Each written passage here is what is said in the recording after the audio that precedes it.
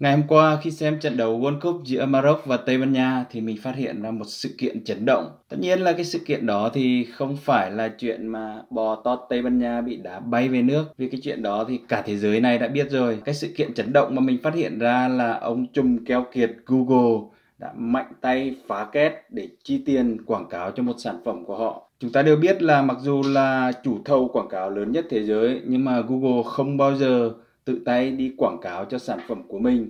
Triết lý làm việc của họ là một khi mà đã làm ra sản phẩm nào ấy thì cái sản phẩm đấy phải đủ tốt để khi khách hàng sử dụng bắt buộc phải giới thiệu cho những người xung quanh mình. Vậy thì cái sản phẩm đó là sản phẩm nào mà Google phải phá kết để quảng cáo? Đó chính là YouTube Shorts là format video dọc dưới 60 giây đang làm mưa làm gió trên toàn bộ thế giới media.